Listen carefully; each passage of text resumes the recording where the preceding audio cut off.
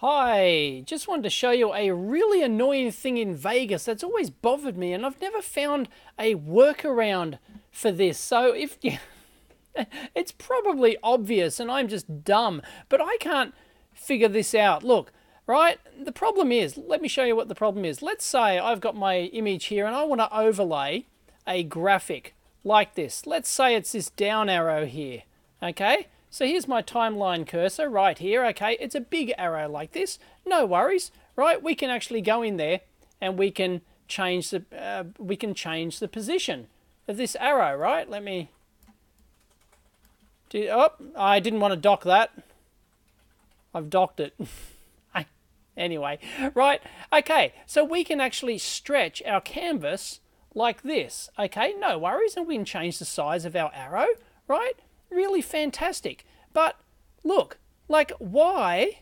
Like there's a limit to how big I can actually make this um, window here, right? And then if I move it all the way over here, my arrow, there's a limit. To, like, let's just say that that's the size I wanted my arrow, okay? Here it is like yeah there it is there. That's that let's just say that's the size I wanted this arrow. And let's say I wanted to put the arrow over this low pass filter here.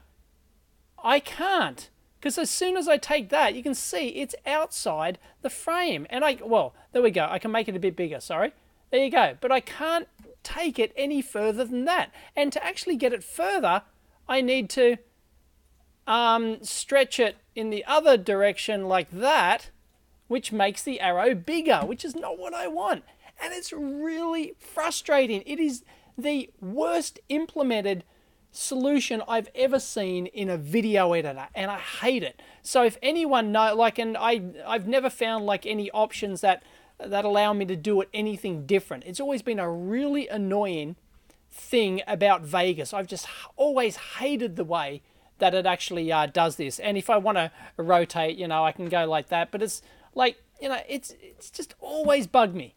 So please, if you know a way, uh, like way around this, please let me know. It's probably really obvious. I should probably search the help or something. I don't know. I could probably Google it anyway. Um, it's really bloody annoying. So if you've got a solution for this, let me know because it's it's probably uh, like it's the probably the main thing I don't like about Vegas. I'd say is the way that they implement overlays and stuff like this using this uh, uh, framing system. Like, I, I don't mind. Like, you know, it's fairly intuitive to drag the frame like in and out like that to make something smaller and bigger. That's, you know, it, it's really obvious. But why that, and it changes, and it, and that frame size changes based on the, uh, based on the size of, not only the size of the image, but the aspect ratio of the image as well. It, it, it just changes all over the shop. And it's bloody ridiculous, and I hate it. So please, if you know of a